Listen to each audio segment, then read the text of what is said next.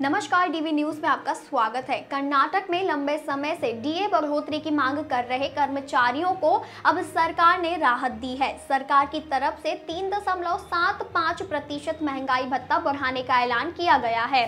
सरकार की तरफ़ से दिए आदेश के बाद राज्य में कर्मचारियों का डीए बढ़कर अड़तीस दशमलव सात पाँच प्रतिशत हो गया है।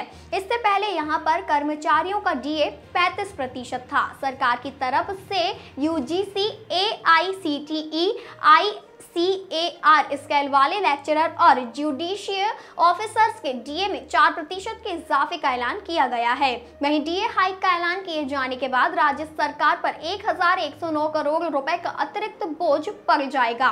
मार्च में कर्मचारी संघों के विरोध के बाद पूर्ववर्ती भाजपा सरकार ने मूल वेतन में 17 प्रतिशत तक की अंतरिम बढ़ोतरी की बात कही थी। इसके बाद सरकार की तरफ़ से पुरानी पेंशन योजना की बहाली के अध्ययन के लिए एक समिति का गठन करने की घोषणा की गई।